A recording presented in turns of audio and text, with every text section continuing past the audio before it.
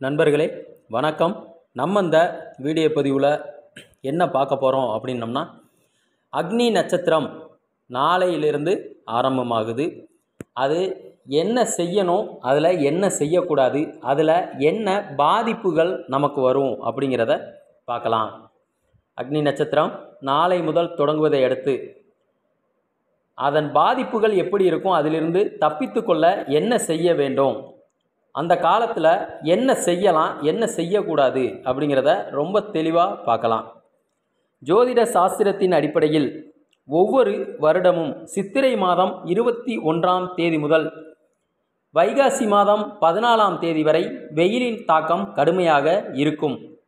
இக்காலமே அக்னி நட்சத்திரம் என்றும் பரணி மற்றும் கார்த்திகை நட்சத்திரத்தில் சூரியன் பிரவேசிக்கும் தினமே அக்னி நட்சத்திரம் என்றும் கூறப்படுகிறது. இந்த அக்னி நட்சத்திர காலம் வடகிழக்கு பருவமழை காலத்திற்கும் தென்மேற்கு பருவமழை காலத்திற்கும் இடைப்பட்ட காலமாக கருதப்படுகிறது. இந்த ஆண்டு மே மாதம் நாலாம் தேதி தொடங்கி மே மாதம் இருபத்தெட்டாம் தேதி வரை இருக்கின்ற இருபத்தைந்து நாட்கள் அக்னி நட்சத்திர நாட்கள் என்று கணிக்கப்பட்டுள்ளது.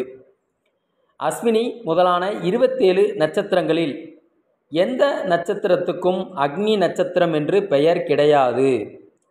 சித்திரை மாதம் பரணி நாலாம் பாதத்தில் தொடங்கி ரோகிணி முதல் பாதம் வரை சூரியன் சஞ்சாரம் செய்யும் அக்னி நட்சத்திர காலகட்டத்தில் சித்திரை கடைசி வாரம் தொடங்கி வைகாசி முதல் வாரம் வரை மிக அதிக வெயில் அடிப்பதால் அப்போது சூரியனுக்கு நட்சத்திர அந்தஸ்து கொடுக்கப்படுகிறது.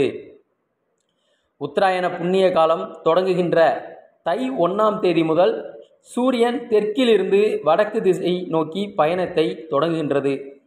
சித்திரை ஒன்றாம் தேதி சூரியன் பூமிக்கு மிக நெருக்கமாக இருப்பதால் வெயிலின் கடுமை அதன் தாக்கம் அதிகமாக இருக்கும். அதனால் இதை கத்திரி வெயில் என்று குறிப்பிடுகிறார்கள். அக்னி நட்சத்திர தோஷ காலம் முடிந்த பிறகு அனைத்து கோயில்களிலும் சிறப்பு பூஜைகள் வழிபாடுகள் நடத்தி அக்னி கழிவு என்ற பூஜை செய்யப்படுகிறது. நமக்கு என்னென்ன பாதிப்புகள் வரும் அப்படிங்கிறத பார்க்கலாம்.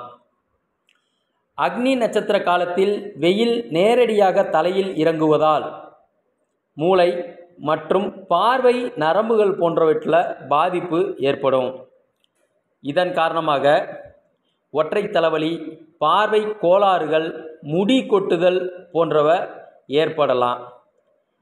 மேலும் அனல் காற்று கட்டி உடல் ரோகத்தில் கட்டி அம்மை கண் பாதிப்பு தூக்கமின்மை சருமத்தில் வறட்சி மற்றும் தோல் நோய்கள் ஏற்படுறதுக்கான வாய்ப்புகள் உண்டு. இந்த நோய் பாதிப்புகளில் இருந்து தப்பித்து கொள்ள நமக்கு இருக்கக்கூடிய ஒரே அருமருந்து தண்ணீர் மட்டும்தான். இது இல்லாமல் இயற்கையான பழச்சாறு மோர் பானகம் இளநீர் பதநீர் போன்றவற்றை குடிப்பது மிகவும் உடலுக்கு ஏற்றதாகும்.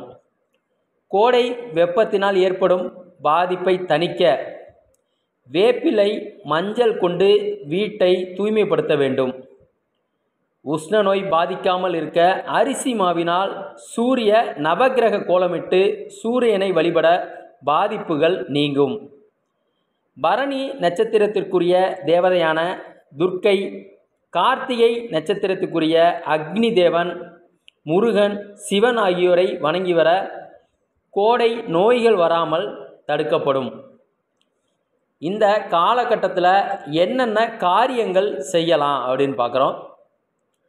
திருமணம் நிச்சயதார்த்தம் திருமணம் பொருத்தம் போன்றவை செய்யலாம். உபநாசம் பரிகார வேள்விகள் மஞ்சள் நீராட்டு விழா யாகங்கள் செய்யலாம். பெண் பார்க்க போவது வளைகாப்பு போன்றவற்றை செய்யலாம். சுப காரியங்கள் செய்வதற்கான பேச்சுவார்த்தைகள் மற்றும் அதற்கான முயற்சிகளை நம்ம செய்யலாம். என்னென்னலாம் தவிர்க்கணும்? வீடு கட்டுவதற்கான நிலம் வாங்குவதை தவிர்க்கணும். தோட்டம் மலர் செடிகள் குளங்கள் குட்டைகள் வெட்டுவதை தவிர்க்கணும். மரங்களை வெட்டுதல் நார் உரித்து கயறு செய்தல் அடுக்குமாடி குடியிருப்பு கட்டுதல் போன்றவற்றை தவிர்க்கணும். புது வீட்டுக்கு பால் காய்ச்சுதல் கிரகப்பிரவேசம் செய்தல் பூமி பூஜை செய்வது கிணறு வெட்டுதல் போன்றவை விவசாய வேலைகளை தொடங்குவதை தவிர்க்க வேண்டும். நிலம் மற்றும் வீடுகளை பராமரிக்கக்கூடாது. மொட்டையடித்தல் காது குத்துதல் கண்டிப்பாக செய்யக்கூடாது. இந்த நாட்களில் புதிய வாகனம் வாங்குவதையும் கோவில் கும்பாபிஷேகம் நடத்துவதையும் தவிர்ப்பது நல்லது.